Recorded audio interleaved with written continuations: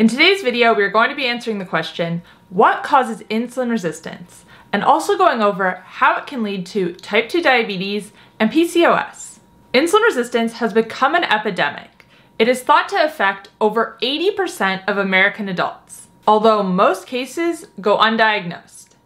Insulin resistance is the main cause of poor metabolic health, leading to excess abdominal fat, high blood pressure, and difficulty losing weight. All of these symptoms are extremely common, which signifies just how widespread insulin resistance is. Now, the reason that insulin resistance goes so largely undiagnosed is because doctors do not routinely test fasting insulin. They focus on fasting glucose, but the reality is is that your glucose can be normal, but your insulin can be elevated. Insulin resistance starts up to 10 years before you're gonna start to see your fasting blood sugar increase. And here is a fun, or actually not so fun fact. Insulin resistance and metabolic syndrome are the exact same thing. Metabolic syndrome actually used to be called insulin resistance syndrome. So if you know that you have metabolic syndrome, but you are unsure if you have insulin resistance or not, unfortunately you do. And in case you're not familiar, metabolic syndrome is characterized by five main symptoms. A large waist circumference, high triglycerides, low HDL cholesterol, high blood pressure, and high fasting blood sugar. To be diagnosed with metabolic syndrome, you have to have at least three of these symptoms. But even if you have two or even if you have one, that can signify some insulin resistance. So in today's video, we are going to be simplifying what causes insulin resistance and talking about how it can lead to type 2 diabetes and PCOS.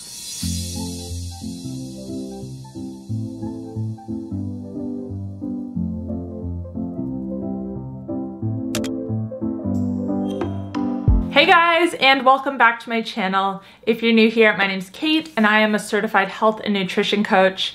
I post videos here on YouTube twice a week talking about insulin resistance, blood sugar management, weight loss, sleep, and more. So if you want to take control of your metabolic health, make sure to click that subscribe button. And you can also find me on TikTok and Instagram where I share new posts every single day. What is insulin resistance? Insulin is a hormone whose main role is to signal our cells to taking glucose, aka blood sugar. When our blood sugar goes up, after we eat for example, the pancreas releases insulin which takes the excess glucose from our bloodstream to our cells. Insulin resistance occurs when our cells are no longer responding correctly to the signals from insulin. They don't efficiently take in the excess blood glucose from our cells. This leads to insulin levels remaining high for long periods of time, for longer than it should. And it is these high levels of insulin that lead to the symptoms and side effects. Some of these include excess abdominal fat, skin tags, and dark patches of skin. But high insulin also causes your HDL cholesterol to decrease and your triglycerides to increase. But why do our cells start resisting insulin in the first place?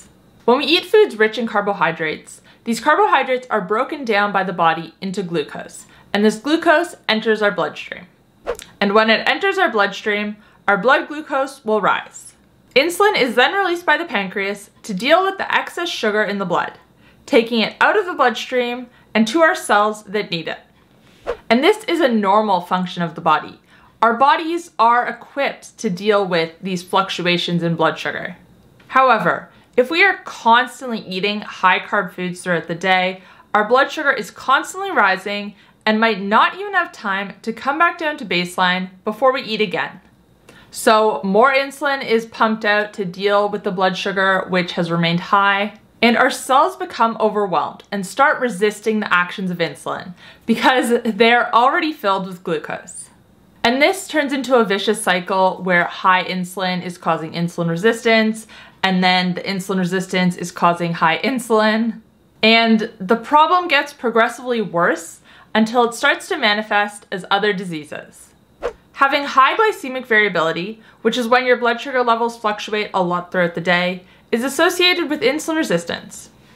Because if your blood sugar is always spiking, this means your body has to pump out a lot of insulin to deal with it. And if your insulin doesn't have a chance to come back down before you eat your next meal, then your insulin is going to remain high, and this is where the problem starts. Having high insulin is known as hyperinsulinemia, and it's this hyperinsulinemia that actually leads to the symptoms, the side effects, and eventually the other diseases. Now, one thing I want to note is the diet is not the only factor that impacts insulin sensitivity. Sleep or lack of sleep plays a big role as well. Studies have shown that even just one night of poor sleep makes us temporarily insulin resistant the entire next day. So making sure you are getting good quality sleep is vital. I do have other videos on improving sleep, which I will link above, but my number one top tip, which I just want to tell you about quickly, is to manage your light exposure. Light is a key indicator for circadian rhythm.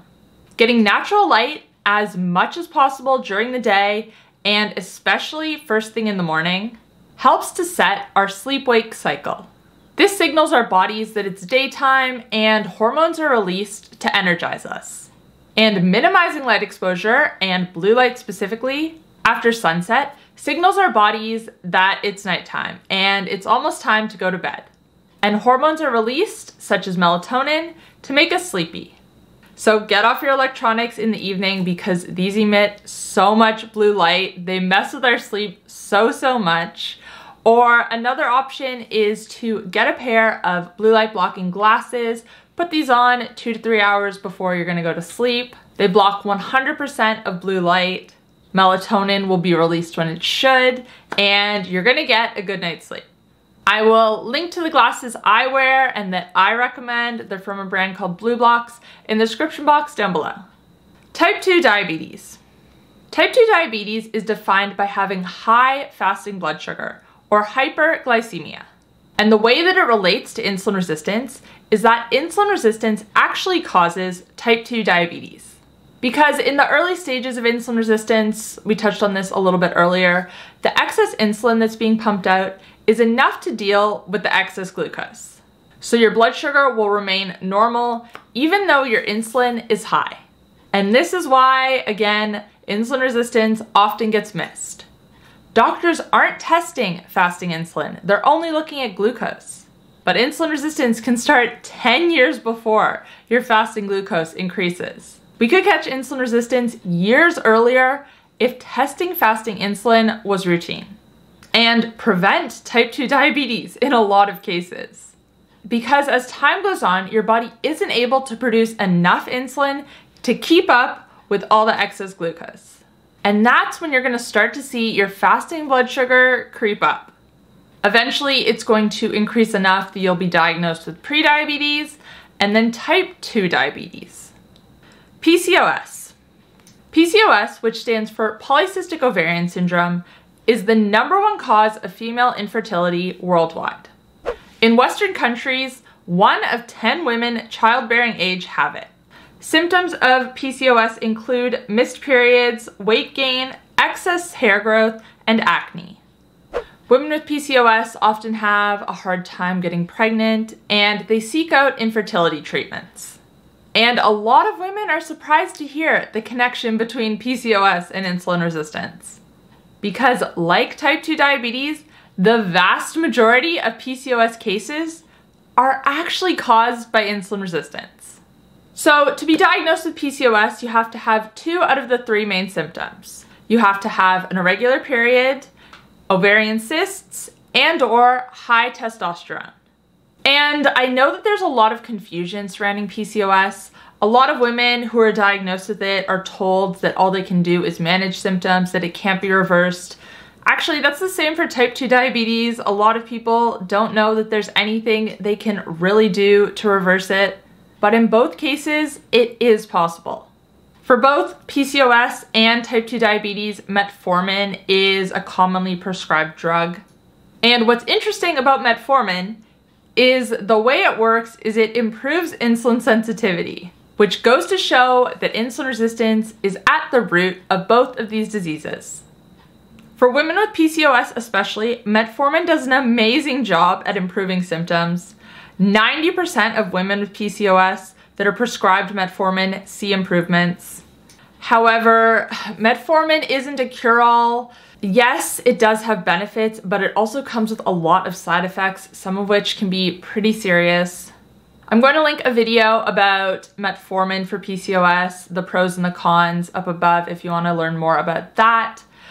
But I think it's important to note that there are other ways to improve insulin sensitivity and reverse PCOS and reverse insulin resistance. And these can be done naturally. But anyways, I'm getting a little bit ahead of myself. Let's talk about how insulin resistance causes PCOS. So it is actually hyperinsulinemia, which you will remember means high insulin, that causes the three main symptoms of PCOS and the other symptoms as well. Every month, just before ovulation, there should be a big spike in the hormone estrogen. All estrogen is made from testosterone, but high insulin levels, hyperinsulinemia, block the ovaries from converting it. And the spike in estrogen doesn't happen because enough isn't being converted. So you don't ovulate, the eggs remain in the ovaries and become cysts. You don't have a period because you didn't ovulate. And because not enough testosterone was converted to estrogen, you were left with high testosterone levels as a result. And those are the three main symptoms that we spoke about earlier. Now, before we wrap up, I know this video was just supposed to be about the cause of insulin resistance and type 2 diabetes and PCOS, but, and I talked about this a little bit, I just want to say that it can be reversed. It is not something you have to live with. It is not something that can only be managed. With a few small diet and lifestyle tweaks, you can improve your insulin sensitivity, reduce your symptoms, and become metabolically healthy once again. And I'm gonna link a video that I did up above that has 10 simple steps you can take to reverse insulin resistance. Anyways, guys, that's all I have for you today. Thank you for watching. Let me know in the comment section down below if you have been diagnosed with insulin resistance or if you haven't been diagnosed but you suspect you have it. Let me know down below. And if you haven't already, make sure to click that subscribe button so you don't miss an upload. Click that like button if you enjoyed this video and feel free to share it with a friend. If you did enjoy this video, you might enjoy my video on other diseases that are caused by insulin resistance. You can check it out here. If you want to catch up on my most recent upload, you can find it here. And if you want to check out my keto diet and carnivore diet coaching programs, you can find them here. Thanks guys, I'll see you next time. Bye.